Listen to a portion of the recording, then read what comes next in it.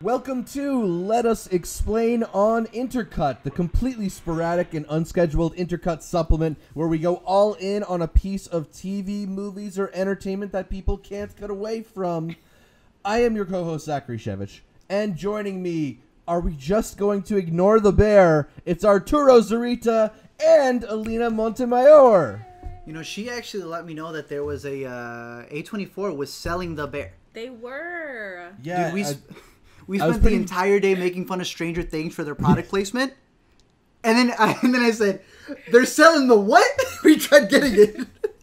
Good yeah, but in true available yet. A24, like, you can't, it's exclusive fashion. There were only 75 of them available. Why even make that? Exactly. And then they did a second wave, but they didn't let you know unless you kept clicking on Oh, it when yeah. it said sold out. So that means Yeah. they didn't have 75. They had more. It doesn't matter. We don't have a bear. Nobody owns a bear here. There Yeah. is none whatsoever. But we're excited to be here, uh, talking about the movie that most couples are too scared to go see. Together. And we've seen it uh, twice. The the consensus coming out of film Twitter uh, following the release of Ari Aster's Midsommar was basically your relationship better be in a good place if you're going to go see this with Mm. your significant other. Uh, speaking of which, I believe you two have seen this movie together twice and read the already. script together and uh, the divorce has been finalized Yes. and other than that we we're really moving forward, forward with everything. She gets half of the workload that i used to continue on let me explain and everything works out great. Uh, All right. Well, the thing is, here on Let Us Explain, we deep dive on something that we can't stop thinking about for other people who can't stop thinking about that thing, too. That means we'll be talking about anything and everything, including spoilers, so you might want to wait until after you've seen Midsommar to watch our segment, or not, if that's your thing. But before we jump into the spoiler zone, let's talk a little more generally about Midsommar. Filmmaker mm-hmm. Ari Aster, this is his follow up to last year's Hereditary. Midsommar is a deeply uncomfortable melodrama juxtaposed the beautiful backdrop of a Scandinavian summer. When a group of friends visit a remote Swedish village to observe their midsummer festival, their trip gradually becomes more bizarre and violent. It's being pitched as a horror movie, but it feels like something far more specific than that art. Is horror a good term to use when describing Midsommar? yeah horrible things happen I, I would say if you're in a horrible relationship you can see that as a horror uh, not this relationship is what she's saying about it's a completely No, different thought other making a relationship pun. uh, but no, I, I so I think the thing is, what Ari came out and said was that he didn't see like we've been watching a lot of interviews with him, and he's Mm-hmm. like, I never even intended to make a horror movie first. Like the next movie that he wants to make is, is a comedy, but I think that there's horror elements to it. Kind of like when Jordan Peele makes a Get Out, and then his follow up is a horror movie, but people are like, oh, it's about race relations, and he's like, well. It can be. So, you know, it's like one of those things. Maybe someone watches Eternal Sunshine of the Spotless Mind and goes, "That's no, that's a that's a horrendous movie. Like that's scary to me." So I think it, it works at both. Uh, every time we've gone to go see the movie, I've stood by the aspect of it that if you go see this with your girl or significant other, whoever that is, that's one thing. You go see it with the girls. That's a whole nother movie. You go see it with the boys. I have seen different reactions all across the board. The last time we saw it was with a with these four ladies who went on a girls' night out. Oh, yes. That was my audience. That was my audience. It really was. the amount of mm-hmm that we heard, it almost made us feel bad for whatever situation they were in. You felt their pain. But yeah, no, it's do you not see it as a horror movie? Do you feel like we've is it because we're so used to horror movies being quote unquote bad and not respected that when a movie is so good, we're almost looking down on the genre? uh, there certainly is a bit of like elitism, like the whole elevated horror term that we throw around when it's like, Mm. Yeah. well, it's a horror movie, but it's actually good. Like, Yeah, that's so- that's not really It's what I'm trying to do. One of the good here by- ones. that's really not what I'm trying to do by like asking whether or not this is horror. Mm-hmm. Uh, I've heard also some interviews with Ari Aster where he's talking about how this is really like uh, it is a melodrama first and foremost, and one of the key elements of a melodrama i- is that the movie plays as big as the emotions are, and Yeah. when we're talking about uh, the types of emotions that would be forced upon you in this situation, we get like big, crazy, potentially horrific things happening. Mm-hmm. Uh, you know, it is sort of like this fine line of, you know, I, I don't know if I would classify it as a drama drama before I classify it as a horror. It's probably like closer in that respect, but I almost think that's too general. Like you have to be a little bit more specific. It's such a like a mood piece. It's such Yeah. a it, it's so much about that feeling and those feelings of when you're in a troubled relationship and when uh, it, things just are you you need support. You're not getting it. You you're trying to communicate something and you don't have that uh, partner in that. I, I think he's able to craft those moments so well that are deeply uncomfortable but i don't know if i personally want to describe them as horror. Yeah. Maybe Oh, and no, for me maybe that's just there. because i don't want people to go into it with the wrong expectation this and then you're there and people Friday come out the and they go, "That wasn't as scary as Hereditary. I ain't pay for a horror movie." Yeah. Horror sometimes is slasher, Yeah. you know, tropes. That was one Yeah, and this things. isn't friday the 13th this isn't nightmare on it's elm all in daylight, which is a very dope way to go about a horror movie. Uh, but it's interesting that you bring that up because originally it was a it was a Swedish company, B-Reel Films, sister company Two. to B-Reel Films. Zach, okay, just in case you didn't know, uh, this company in Sweden came up to him uh, years ago and they said, "Can you make like a Sweden like?" Can you make can you make Sweden look as terrible as possible?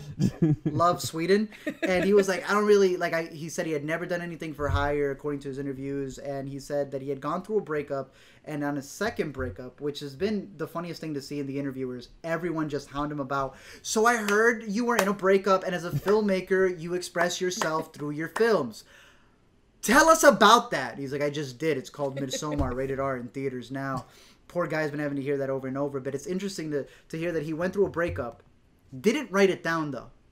You know when you go through that breakup and you're like, mm, it's like you just saw a Jackie Chan movie and you want to do, you you want to do some action right there. He had broken up and he had all these emotions, but he didn't write them down. Then he got into a second breakup, and at that point, he took the job and he said his literal quote is, "How can I masquerade?" Take this money for this bitch and really make it a breakup film. So when you say you don't really see it as a horror, but you see it like again what I called it, Eternal Sunshine. I see it as mm-hmm. a lot of other breakup movies. As someone's great from this year. This is the alternative version of that. The same way that you can see Hereditary as just a dysfunctional family. But if you see a dysfunctional family, you're like, oh, that's goofy, that's funky. It's like, yeah, but what's that emotion you feel? Yeah, that's right. It feels like a possession, right? Right. I left my sister at school, but my mom treated me like other stuff happened. I'll say if you haven't seen Hereditary, and it's the same thing here. He, it's that idea of like when you're. Can we go full spoilers since this is a let us explain? Yeah, uh, we'll do. We'll open this up to spoilers. So if you can't handle the truth, this is the time to click out. There are plenty of spoiler-free intercut episodes on this feed for you to watch. Uh, but if you want to dive right in, go ahead. How euphoric is that ending? It is really. And uh, let me just add this before we go on. Is it more of a horror, or how do you even put this into words, where it's so close to real life, minus the whole, you know, rituals and the Speak killing? for and, yourself. you know, maybe it is there. Who knows? But as far as everything that they go through as a couple, because it's so real, that is the horrific part of it. Yeah, so let me let me ask it. you guys this then, uh, because Ari Aster has this habit of inflicting brutal moments on his characters and then forcing you to kind of live with them through these reactions. You know, there's that moment in the film where an older couple jump to their deaths, and I feel like it was this movie's version of the uh, telephone pole scene Yes. in Hereditary. So, so what do you feel like of what do you think of a moment like that as the device for horror? It, it's not the way we traditionally get horror in that it's the impact that scares you. It's really seeing how these people respond that's scary. Yeah, uh, I I, don't know can if see you have that. something else to add. to Well, I mean, going based off that in the movie, I mean, going based off the movie, you know, we see the the the English couple who completely freaked out. It's almost as if they used that part of their ritual as kind of like a filtering, like a sifting. Mm-hmm. Like if you can't handle that, then you're not gonna be able to handle yeah, anything else. you can't handle Right. anything else that we do as a community together. But you can see how each person individually reacts. And the only person that kind of just stands there and just watches the entirety of it is Dani. Mm-hmm. She really is the only one to survive. And what's interesting about it is uh, that suicide, which Yes. in their culture is normal, it's like it's almost Yeah. looked upon. They got to eat at the head of the table that day. Right. Those that that uh that suicide that was uh what's the word? They were pro pro for they were for it. Like it's Part of their cycle. yeah, but Right. what's like the word I'm looking for? Like it was normal to them. It's the movie ritualistic. starts exactly. It's ritualistic. It's something they do. It's part of their tradition. Right, and you juxtapose that with the To the beginning. of uh, Dani's Yes. sister, Exactly. who takes her parents with them, and it, it, it's just it's this The completely way he alternate finds way, yeah a way to, approach maneuver all that death. I think it's insane. I know one of the things uh, that you were touching upon earlier, and I know that was one of the stuff that stood out to her the most when we first saw it was all the lines. What are what are when we talk about our favorite parts of Ooh. Midsommar? Do you want to know what they are? It's not the butterfly ripped open Jeepers Creepers skin guy. It's not even the Athopus what whatever it is. Yeah. Our favorite part about the goriest scenes are the reactions around it. That Right. which is Chidi learning that he knows what it is and he keeps it quiet, even though he just he knows Mm-hmm. that his friend, her parents just died because of her sister's suicide. And he's like, I'm not gonna say anything. Right. Yeah. That's a terrible thing to do. And in the script, he's even worse. In the script, he has lines about being pro rape, crazy things. Yeah, it's an insane. Well, we might get to some of that stuff, but some of our favorite lines. What are some of yours? It has nothing to do with horror. Nothing to do with What's horror. one of your favorite I- lines from Christian? Okay. Wait, hold on. He says he can guess it.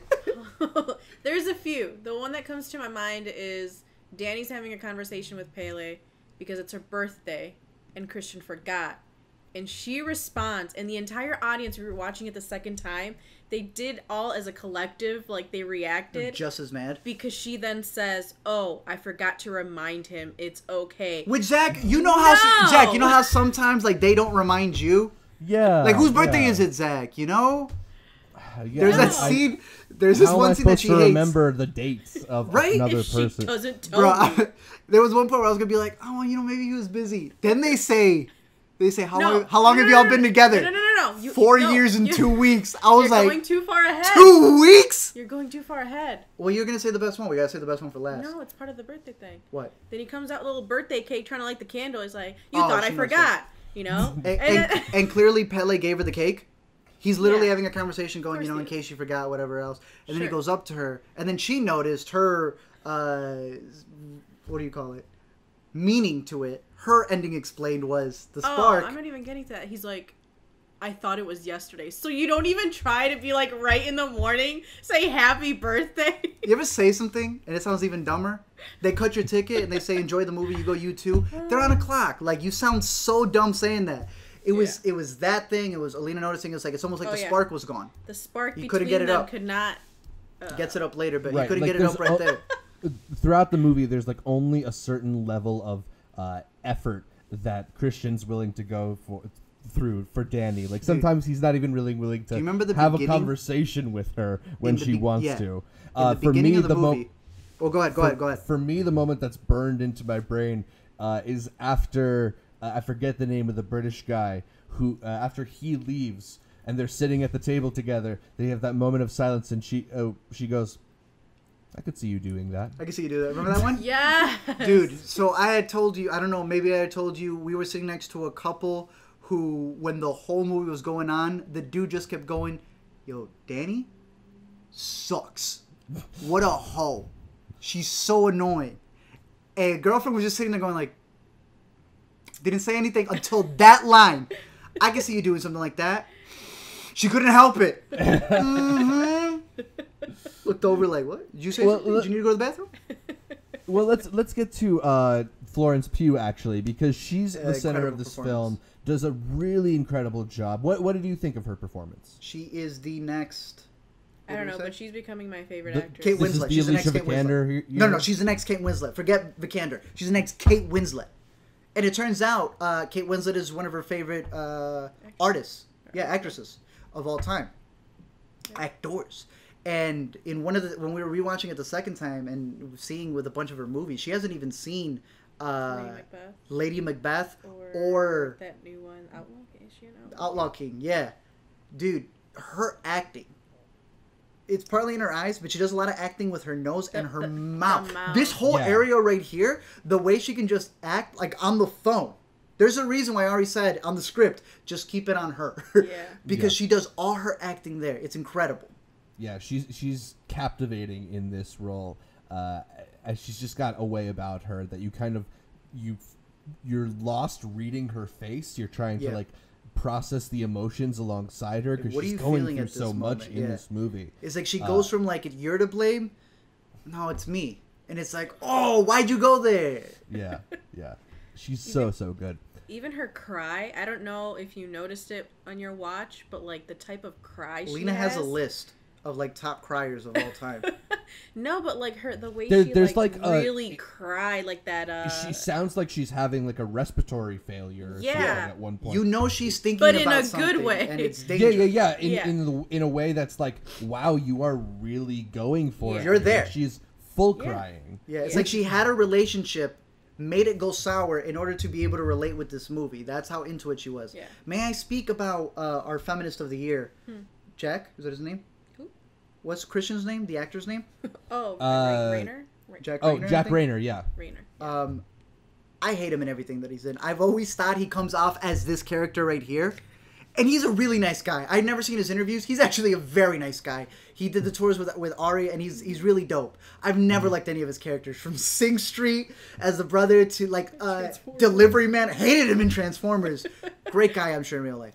Finally, the perfect role. Do you know the quote yeah. we say the most to each other? Anything happens any of us are in the bad in a bad mood. You want to know how we get out of it? Uh, I'm sorry. Like there's a scene at the beginning where he says that line. Yeah. And that's probably the one that gets the most groans out of everybody, second to the one that you had brought up about the I can see you doing that. Mm-hmm. Dude, the way he says I'm sorry is like you could not give less of a care. Yeah. He- It's insane. It's, like a hostile. I'm sorry. I'm Can't believe you're making me say these words. It's like, and I can't even get mad at her because I'll say something. I was like, "So you just didn't get the edit right," and then she goes, "Oh, sorry, I didn't read your mind. I'm sorry." I was like, "I can't even be mad at that." Uh, so bringing up some of the other actors, you know, I thought William Jackson Harper was great. Will Poulter is becoming like one of our essential cinematic douchebags. Yes, I'm gonna Uh, send you a meme that Alina sent me, but keep going. The, the Toy Story one, I laughed very hard at that. Uh, you already know it. Oh, Then, yeah, then pop it up right here. It's that's incredible. Yes, it's it's That's so art apt. imitating art. Uh, w- was there anybody in particular aside from Florence Pugh who you thought was really really great in this movie? Hmm. I don't know. Well, I mean, she clearly steals the show. Easily. Uh, hands down. there were some extra things that we had noticed when we were looking through the script, some of the stuff that he had added, and I guess that comes with like you would only know it if you've read the script. He Yeah. describes Florence Pugh's Well- performance at the end as, uh, or at least the characters, Dani's, who, by the way, Dani Ari. I, last name's Aster. Her last name is Ardor. Very I- close, yeah. Starting That building burns at the end. It's in the shape of an A. Her last name's gone. She has a new family. I, I mean, there's uh, hints that he puts in the script, and he kind of said it in some interviews, and you can tell he's like, "I'm done with interviews." I, he had said it in his New York one Yeah. uh, when he he was just at the Lincoln Center, I think, and he was like, "I eh, I'm at the point of the tour where I just hate myself for everything that I've said," but he did say that uh, someone had asked him, "Is Christian kind of a res- uh, is there something significant about a man named Christian coming into a pagan world and like taking advantage of that?" Uh, the fact that he then wants to, the Christian is seeing somebody else write their Bible of these people, and he's like, I'm gonna take that. Which is a really big thing Ari did, where he's like, I don't want to. Did it with Hereditary. I don't want to keep doing six six six, Mark of the Right, Beast, because right. he doesn't believe in it. He say he's like, I Yeah. was raised Jewish to begin with, so none of that stuff means anything to me. he says, but what comes before that? Mm-hmm. Because I've seen this story about the sun rising on the third day, but it was the actual sun. You know, so he starts looking at that stuff. The the where was the Easter before Easter? You know, where was the stories of a Virgin Mother in other way more prehistoric civilizations? And uh, maybe he's saying something there with that character of Christian coming in. But one of the one of the best parts that he does in the script is emphasizing how much uh, Christian's character just doesn't care. When she's crying, and you see Yeah. it again in the movie, he's hearing the screams and it's snowing outside, but he's taking his sweet time to get walking. up there. Mm-hmm. Yeah, a lot of the moments that are hardest to watch are when he just dismisses her or belittles her, Mm-hmm. and it's a really interesting depiction of a, tr- a troubled relationship. Alina, did the movie work for you as a metaphor for a doomed relationship? I think so. You you it's one of those things where and I know it's bad and I wrote it in as a joke, but it's like how do you leave someone that has no family? You know, after she loses her entire family, Right. like what's It- a it- time limit on that? Like, do you even like, like it sounds so bad Hey. to say, but it's just like if the relationship was doomed, but you can't just leave them there, you know? It's the weird tradition It's- that we have in America Yeah, you're you're that we do that, as opposed to in Sweden in that culture where it's like it's very simple. You have to jump off a rock. Your time is done. It you is interesting. Your purpose. I mean, it's it's a hard. I don't know transition. I guess that you're seeing on screen. It's What do you think about the ending when like she's when she has to choose between the two? And the and and the significance of that, specific in the script, she says she goes from feeling like she's alone Well, for the first time. even That's when why she's always held on to him. When we watched it like the first time when I told you I'm like, look, they're all screaming with her. She finally has a family. When you said there was a Lamaze class, yeah, Yeah, Yes. they have that shared they have that shared empathy moment, which Yes. is like Which she's one of the had. craziest. Yeah. which is one of the like kind of craziest but most uh, just uh, captivating and, and mysterious and weird. If scary movie movies were still being made, Scary Movie Seven, I would be all about that. Yeah. Th- that would have been the scene in the trailer that they would have done exactly. Yeah, easily. I just Uh, I don't know. yeah, I mean, I, I feel like it's, you know, I think there's something significant to the fact that we don't really see her smile until that very last shot when, Hmm. you know, the, these relics of her past are being burned. Yeah. Yeah. Uh, I, I feel like you know she should. It's in a way, it's kind of the way we sort of sometimes reinvent ourselves after leaving a relationship. She's sort of a new person. Start Literally uh, flourishing the you- flowers. You can, uh, I mean, going based off and building on that, you could say when you end a relationship, say, I mean, now we're mostly on Twitter or Instagram, but before, you know, you had MySpace and Facebook, and you would just delete any and all past history you had that with that person. Yeah. So And- it it's like you know, It's the like you're killing you're them. yeah, in digital wise, you're deleting them. And if you Right. get rid of somebody, like we were talking about Yeah. this, like you think about any exes that you have, and for the most part, you're not just deleting them, you're getting rid of all the friends and everybody else around them as well. Like they're literally dying to you. They're dead to you, uh, for for better or worse. That's that's the, the best way to put it.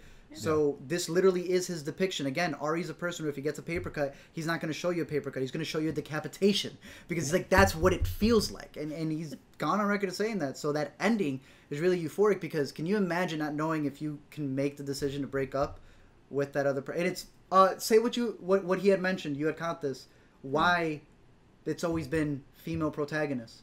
Oh, so he was always telling me like, yeah, he always has like the the the female protagonist do it, and I'm like, yeah, because you can't. Excuse me, you never. And in our society, it's as terrible as it sounds. There's always a double standard. How a man cannot get It would be abused so much more difficult. from a woman, or it's so hard to believe that a, a that a man could get let himself be abused by a woman, but it does happen. But in this sense, how different would the movie be if we would have seen Christian be in Dani's shoes? You know, we wouldn't be able to take it seriously, but when you're relating to Dani, it's so, So much, much easier easier. to like involve yourself in her world. You know, as trippy as it was for her, but yeah. it's so much easier that way. You get that point where he uh, blames it on the alcohol for why he did what he did. You know, it's like Yeah. I'm sure if you were in this, like you would be seeing exactly what he meant. He's like, this isn't a ritual. This is an American relationship where a guy got drunk, she got one of his friends who had his eyes out for her, and he pretty much manipulated to bring her into his family, allowed her to flourish like the May Queen that she is, and made sure that everybody else, all the douche friends, were gone. Which I don't know, because again, uh, I like that we've been discussing it. For you mentioned, is it a horror or is it a relationship? All we've been talking about is the relationship side of it. Yeah. Yeah. In yeah. the horror parts of it, what did you think about the lore that he built? I mean, it was an interesting. It it was an interesting, interestingly full world. I, I don't know how much of it was necessarily from the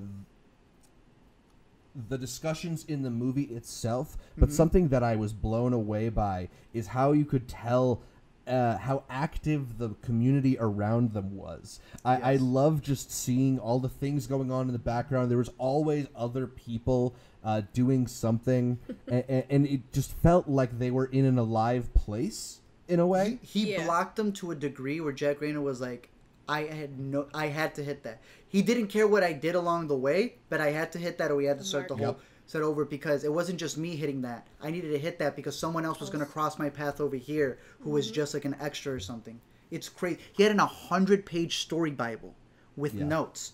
All the actors are like, I, I don't even just look at the walls. He kept telling me the whole movie was in the walls, uh, so I guess he put it there. There's she was one of the Oh, first to we- catch. Are we bringing up the the brace? In a little bit. Okay. What was the other thing that you had caught when you were seeing some of the stuff of the lore? We noticed right away, you know, the beginning of the movie starts off And it with gives the- you the that mural. mural, which the whole story. essentially is the story. Yeah. Mhm. Yeah. the same way that the uh, period blood story gets shown to you before. He said he wanted to do it like an opera, where we all know what's going to happen, but it's about the emotions. Again, going off of your point, he knows what it is. He he knows you know the name of the game. He just wants you to feel it. Uh, as you build it up, you know a lot of people have the theories of what if it was really Pelle who obviously planned the whole thing, but did he also plan her? Was that a part of his thing? Was that Pelle's Right. drawing, considering that's the way he draws? Was that his drawing? At the, was that his master plan at the beginning that he showed you? We tried looking for clues to see if he had anything to do with the suicide, you know, because he does hint. Uh, she, she wasn't talking the same. She it didn't wasn't. sound like her. But again, it, the moment you go down that route, it changes the entirety of the story as well. Yeah. But just keeping on with the lore of it, we're seeing this not only from the perspective of Dani, but the perspective of her friends who went there for what purpose? Archaeologists. I mean, they cast Chidi because he's Chidi. Sorry, anthropologists. So this movie is literally made for you to dissect if you wanted to, and you would be able to pick up on things. He just literally doesn't show you everything. Kind of like us, where he's like, I can swear to you, I have everything written Right. down, Yeah. and it all makes sense. Well, why don't you tell us? He's like, because if you go to a civilization right now, they're not going to have a cheat sheet for you. Yeah. You got to figure it out yourself. so I, I am intrigued for the rewatches. I'm intrigued for the special features. Uh, the man's earned it. Totally, totally. 4K. Uh, during the movie, the characters are taking hallucinogens, and they do a really cool thing to help represent that by kind of warping elements of the environment. So they're kind of constantly moving, at least a little bit. Uh, what do you guys think of that technique? That was great. I thought you were gonna give it a zero. I was like, what? No, I thought it was fantastic. No, it was it was great. I like the uh it was subtle to Yeah. the point where like once you fixated on something you would notice it. Mhm. You know, kind of like if you were under the influence, it's like once you start looking at it, it uh, starts Right. acting Yeah, weird. it's a weird thing where it's like if you're just paying attention to her, you won't even notice like how yo how long have those things been moving in the back? What Right, tripped right. us out was with the flowers because we're like, oh, it's a wave, Yeah, it's a a wave warp effect. here. Yeah, ain't there was big that one deal. flower that was And kind the of opening flower- and closing. Yeah. Which Yeah, I was me like, you can't do most- that. It was the most prominent of all of the like special effect stuff. Yeah. But yeah, like you guys were saying, I think one of the things that made it work so well was like none of it was, even though it was uh, all there and obviously there, none of it was uh, significant enough where your eye immediately went to it. You had to notice Mm-hmm. it. It felt like, a- am I sure I'm seeing this correctly? It And makes I you feel think like- as you're sober, are you? Am I tripping? right and i think that's kind of like puts you more in their shoes because the whole thing with it is like, it's like you you can't really piece together what's real and it, it it's this really i thought it was a really really compelling way uh, of kind of giving you the character's experience and just super really in, super interesting visually i i Yeah. loved that aspect of it Do you think there's Especially any other just purpose? that moment when uh, the older guy claps in his face Oh, that was That was just- uncalled for. yeah, there was one I guy in our theater. That was the first time he reacted. I was like, oh, so that's the one that gets you. Clearly, you're being screwed around with. And with. then his answer, why'd Why you did you do that? Yeah. I can see that being a gif, like yeah a well used one. Do you see? Uh, did you notice an, anything else? Any other thoughts of why include hallucinogens in the movie? I've heard some people literally take away that theme. They're like, well, I didn't relate to it from relationship standpoint, but the hallucinogen standpoint. That's what the movie is about to me. Uh, Do you think that there's something to be said there? Uh, theory being, she was on the trip the whole time. Well, I mean, I think there's a and by the end of it, this was what she dreamt of, and it caused her to make the decision. I don't know if I have like any one answer for the hallucinogen specifically. I do think there's something to be said about the fact that a lot of people sort of view uh, relationships as kind of like a drug high in a, A way, trip. where you you get uh, you get your serotonin and dopamine increases, and you don't think about things in the same way because you just have this this rush going through you, and, and there's uh, to, to maybe help illustrate the type of journey that she's on. I Mhm. think uh, giving them these hallucinogens kind of accentuates stuff. It works for that whole like horror element that that we're debating about, and, and also there's the just the idea that a lot of people, you know, take hallucinogens to make life altering decisions. Exactly. After you go through that, you say things clear. So I think next Sundance we should get mushrooms and just treat it like our own little Sweden. So one of the things that I told Art on our second viewing was the amount of say what I'm assuming is they're bringing in people on a yearly basis. You know, Right. they have a maid queen every year. There's more people from the outside being brought in, but necessarily all Because we don't know what people- is 90 years. They said 90 years, but there was multiple May Queens. They said annually. Right. Yeah. they And, also uh, mentioned that thing about incest not being an issue. Yeah. Yeah, because they're bringing in people, and then also, what's his name's parents had just died in a fire. so They're not 19 years old, so, So my only thing a is lot of if, bodies. if the the 90 year ritual is just the added bonus of the burning of the nine people that extra aspect my only thing is all the extra people that they're bringing in if they don't like it obviously they cannot leave so there's going to be a lot of bodies and i've seen enough you know uh, crime scene investigation shows to know that when a body is buried mushrooms grow so i'm not sure if there's a tie-in to that on The why mushrooms they always that they're eating yeah are the That's bodies Not of that. previous people. um, Charlie's clucks are Paimon's camels getting closer. No, that um, was one thing because there is actually one of the cards, one of the drawings is the foot needs to be in the dirt. Ends up being Chidi's foot, Josh's foot, who Yeah. Christian finds. He's like, what the heck? So Why it is so? be. What is the purpose of the foot being in there? What is the purpose of the bodies that are being built? They end up getting a lot of stuff from that tree where they do bury all the ashes. We haven't read up on. It's You know, it's more of a theory, but if like ashes also cause that, but it is known that mushrooms do come out from it. And the only drug they had was mushrooms. It was very specifically mushrooms. Yeah. I mean? I'm not saying that the, the psychedelic mushrooms are because you bury a body, so don't go killing people and burying them to think I'm going to get magic Uh, mushrooms. don't No. I'm just saying that the, That's two when- illegal when- crimes. when a body's buried, it becomes like a good place Mm-hmm. for like mushrooms to grow. That's the only thing. Is Um, the other one a connection between Hereditary and Midsommar Yes. that you've been noticing? Yes. We've noticed a couple of uh, connections. The one being, as we said, he tends to go for a female protagonist. Again, the 3rd Mm-hmm. one's going to really be telling because two is a coincidence. Back to back shot movies, of course. But Yeah, the third three's one, a trend. if we see a third movie where another Joanne, another Pelle, comes by as being the I'm here to help you, I'm just a friend, then it turns out that they're not. All right, we got a pattern here. If we get yet another version of this, uh, Hereditary starts off with the model of the house that it zooms into, and then it becomes Yeah. a story. And throughout the entire story, you get the exact same look of the magnifying glass Yeah. passing Yeah, through the Ar- hallways. Ari loves to do a slow creep on a window. Exactly. And what does he do here? Everything is based off of the drawings and Oh, the room, and everything is eye all thing. drawings. Oh yeah. my goodness, that was. Uh, so there was one thing that we did enjoy as well, which was the eye thing when he closes the eyes and then Mhm. reopens the eyes the same way. But another weird one we noticed, and that was because it was in the script for one of them, Which one was that? And we saw that it made it to the movie. In Hereditary, she wears an arm cast, Arm brace, like arm a, brace. It's subtle. wrist It's it didn't mean anything until you're watching Midsommar a second time, and they're in the middle of Sweden, and everyone's just wearing these costumes, and there's prolifically a girl with a huge old leg brace. It's it's a an ankle brace of some sort. which is one of those things where it's like when you're very very peculiar in your movies Like if she i were gotta wonder what's up maybe it's Yeah. nothing but it's one of those things where you gotta toss it in first in case in case the third one comes out and you realize hey just want to let y'all know we jotted that one down Timestamp. but it is interesting because uh, yeah we she noticed it the first time and then the second time around uh, because I was like, okay, maybe I maybe didn't see it at all. she she's was. like, keep an eye out for it. Maybe she was just an extra. Yeah, you maybe she was injured. Maybe Right. it's not that big of a deal. But and I was like, maybe if the camera nothing with Ari is an accident. on purpose doesn't focus on her foot, you know, from far away is when you could see it, but it it, It- was It does. It, it it's there.